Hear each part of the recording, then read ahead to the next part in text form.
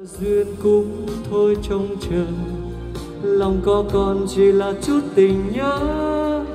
Ta nhắc đến mỗi khi chiều mơ. Tháo khẩu trang ra hát còn hát nữa. Đúng không đúng không? Không sao đâu không có sợ covid đâu anh. Tháo khẩu trang đi. Kính chào quý khách hàng.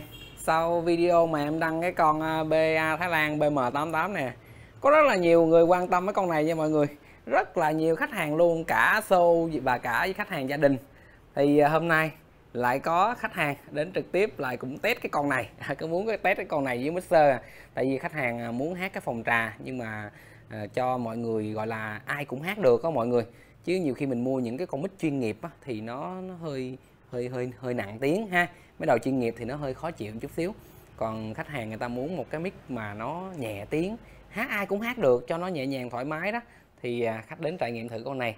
Thì em sẽ cho mọi người nghe thử cái con này hát nó như thế nào nha. Em thì em hát dở nhưng mà khách hàng của em thì ai cũng hát hay hết trơn hết trọi.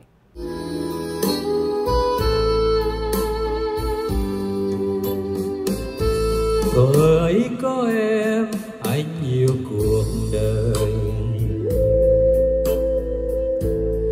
Yêu đôi môi hồng điểm mẹt son tươi. Yêu đôi tay ngà làn má tháng Tóc xanh buông lạ lời. Nhớ em nhớ bao thuở ấy. Thời ấy có em, anh chưa từng xa.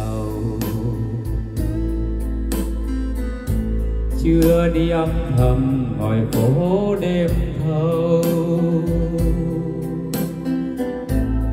Chưa mang hoang lành ngồi bên vắng, Hỡi em em về đâu?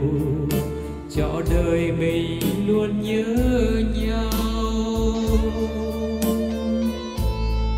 Em dần xa mãi, ngày đi buồn không nói, dù một câu cho với nhớ.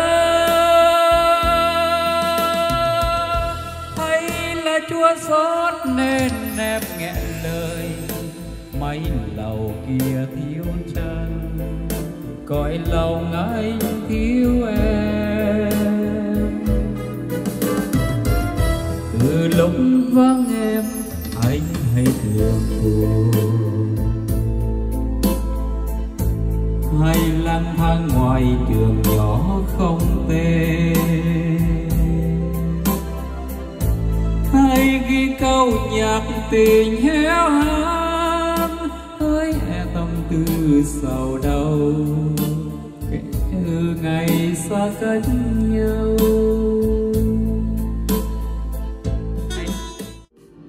Ôi thời gian gió mưa phai nhòa một chiều buồn trở về chốn đây. Ngồi ta đốt Tập thư cũ tình đau chôn giấu. Never fall in love, Đành quên Di vãng xưa đầy ân ái. Và mộng mơ Cố cắt đứt đi đường tơ. Thôi nợ duyên cũng thôi trông chờ lòng có còn chỉ là chút tình nhớ ta nhắc đến mỗi khi chiều mơ tháo khẩu trang ra hát còn hát nữa. Đúng không đúng không? Không sao đâu không có sợ covid đâu anh. Thấy sao mọi người? Thấy ok không? Em thì ờ, dĩ nhiên là mình bán hàng mình phải thấy ok đúng không? Nhưng mà ai mà xem cái video này thì mọi người cho em một cái kết quả một cái đánh giá công tâm ha là mình xem coi con này chơi ok hay không.